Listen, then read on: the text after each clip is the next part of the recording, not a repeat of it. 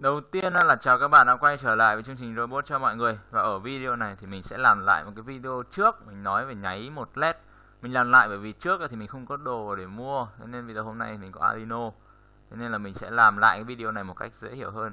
Đầu tiên thì bạn có một con Arduino như này. Ờ, Con Arduino của mình là nó có vỏ nhá. Còn các bạn không có vỏ thì không sao. Ờ, Cho các bạn mới nhập môn Arduino thì mình sẽ hướng dẫn các bạn luôn cái cách xem một cái đèn led Thì một cái đèn led nó là như này nó sẽ trông như này. Thì các bạn nhìn vào đây. Cái chân âm là cái chân có cái bản to này này. Và cái chân dương là cái chân là cái bản nhỏ ở đây. Ok bây giờ nối con led và arduino như nào? Cái này mình hướng dẫn luôn. Đầu tiên ấy, để nhập môn đơn giản nhất là các bạn phải nối con led như thế này. Ờ, không biết các bạn có nhìn rõ không nhỉ? Ở đây thì mình sẽ tí mình sẽ viết lại. Ở đây ở khu này nó có chân số 13 và chân GND 13 hơi khó nhìn. Nói chung là chân con led là có một chân số 13 và một chân GND. Thì chân số 13 mình sẽ nối vào cực dương của đèn led và chân GND mình sẽ nối vào cực âm của đèn led. Hãy ghi nhớ rằng là không bao giờ được để cực dương và cực âm hai cái chân này nó chạm vào nhau nhé bởi vì có thể chập mạch ngay lập tức.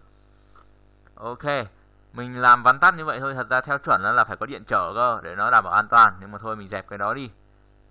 Mình cắm thẳng vào cái chân của Arduino thôi, dương của led nhé vào chân số 13 và âm của led vào Arduino. Bây giờ mình sẽ hướng dẫn các bạn cách làm thế nào để cho con led này nó nháy. Để cho con led này nó nháy ấy, đầu tiên á, thì mình sẽ có một cái cốt mẫu ở đây. Tí mình sẽ để lại ở dưới. Ờ... Đây cốt mẫu thì mình sẽ không lằng nhằng không nói một câu nào luôn. Cái này chú thích các bạn hãy bỏ qua hết cho mình. Những cái phần này là chú thích thôi. Tí nữa mình sẽ để lại cốt và mình không có cái chú thích ở đâu. Đầu tiên á, thì ở cái một cái chương trình Arduino cơ bản có hai hàm là void setup và void loop. Setup thì mình sẽ nó sẽ chạy qua setup một lần để thiết lập cái hệ thống ban đầu. Và sau đó ở trong void loop là nó sau khi nó thực hiện setup thì nó sẽ đi lại nó sẽ thực hiện các vòng loop các vòng lặp liên tục. Cho đến khi mình ngắt nguồn thì thôi hoặc là vì một lý do nào đó mà robot bị treo dừng lại.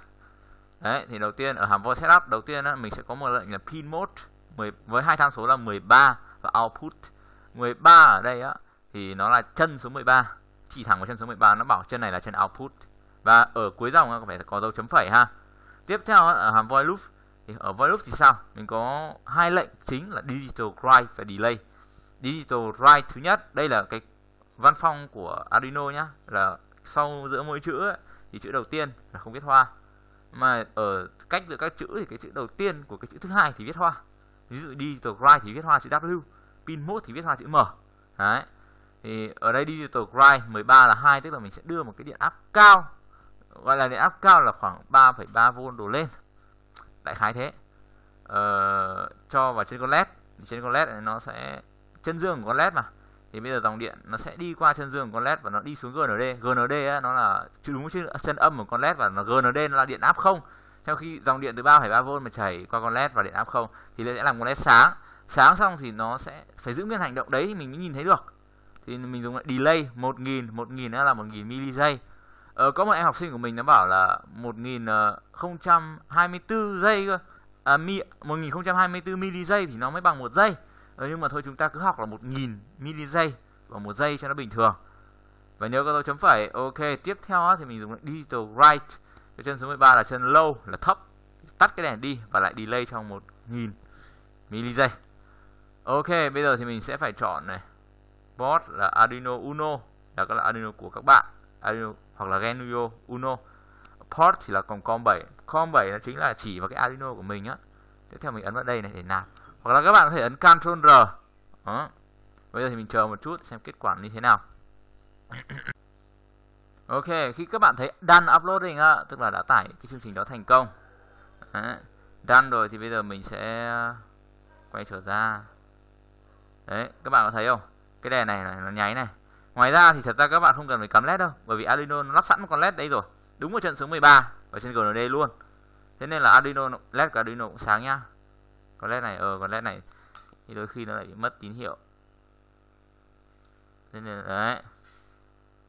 Nó lại sáng bình thường. Con led này của mình thì mình dùng một led nó hơi ngơ một tí. Ok, video này đến đây là hết. Chúc các bạn làm robot thật vui và có nhiều phát minh sáng chế trong tương lai. Chào tạm biệt và hẹn gặp lại.